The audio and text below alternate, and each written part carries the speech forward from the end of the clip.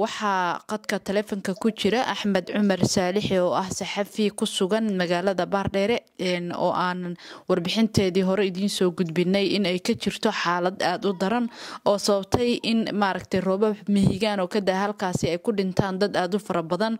Hanti badanna ay ku burburtay dad kalena guryahooda ay uga barakaceen. Axmed bal xaalada adoo qiimeynaya bal see wax u dhaceen goor fiidkii salaada maqrib la tukaday ayaa roobab culus. Waxay ka deen magaalada waana roobkii ugu ballaarnaa.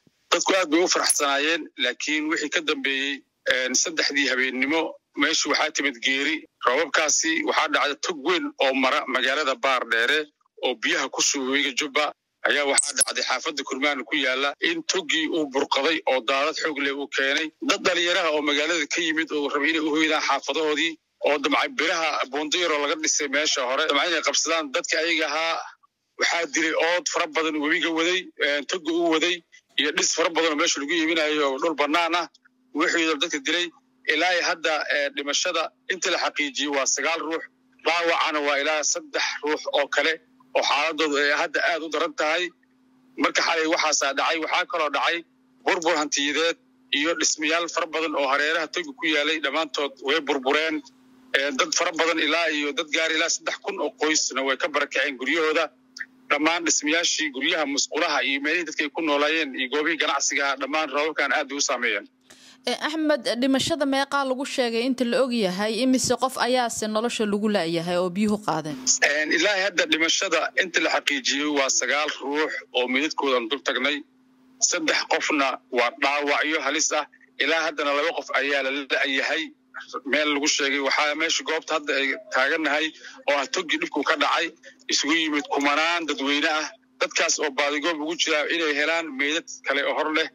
Marka xaaladu halkaasay maraysaa deeqo roobabku meeqa saac ayay ka socdeen di'itaankooda magaalada baardheere. Biyahaase ma kuwii magaalada ku da'ayba mise waxaa keenay togo kale oo ka keenay meelo kaloo roobabku ay ku da'een. Roobabku wallaahi run ahaantii ilaa shan saac ayay joogto u da'ayeen oo si xawli ay u da'ayeen roobabka da'ayey oo biyahoodii waxyaabihii suuqaqa ka yimid iyo tog weyn oo magaalada mara oo badanaa fatahaad sameeya had jeer biyo fara badan uu keenay wixii baa isbiirsaday waxay sameeyeen in ay bad ay noqoto xaafadihii dhammaantood oo biyihii la mari waayey kolley ani intaan ogahay khasaare noocan oo kale roob oo geystay oo baarida ka dhac waa tii ugu horreysay taariikhda sagaal ruux oo dhimashaha iyo saddex dhaawac iyo laba la la'yahay marka la isku daro.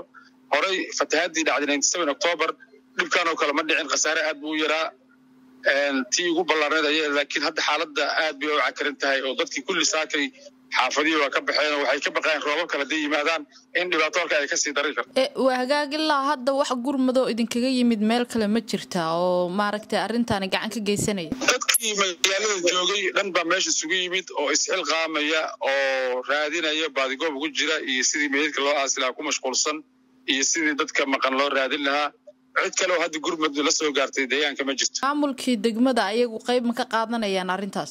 Weli goobta ma ay soo gaarin weli goobta ma ay soo gaarin. Xaaladana waa cakiran tahay oo dhulka meel la mara ma lahan waa bad. Marka dadkun baa isxilqaamaya oo dadaal ugu jira sidii ay u heli lahaayeen dadka la la'yahay iyo dadka dhintay sidii loo aasi lahaa.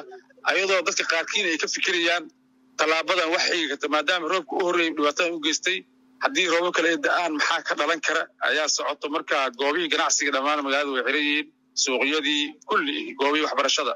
Axmed marka la fiirinayo dad ka dhintay dhammaantood ma intii buundada dul maraysay oo ay la duntayba mise waa dad kale oo gudaha magaalada biyuhu ku dileen?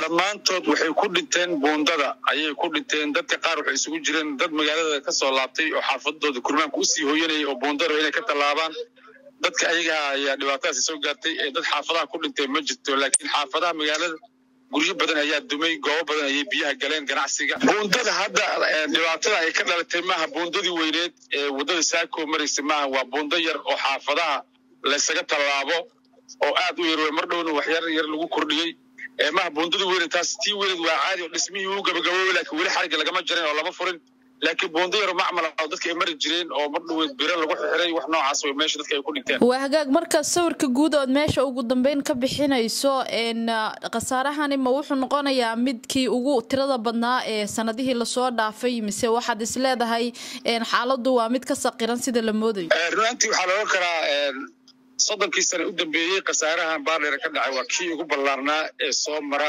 bulshada baardheere oo ugu khasaaraha ballaarnaa. Waa hagaag. Aad ayaad u mahadsan tahay allah ayaan idinkaga baryanaa inuu idin badbaadiyo. Kaasina waxa uu ahaa axmed cumar saalixi oo qadka taleefonka iigu warramaya isagoo ku sugan magaalada baardheere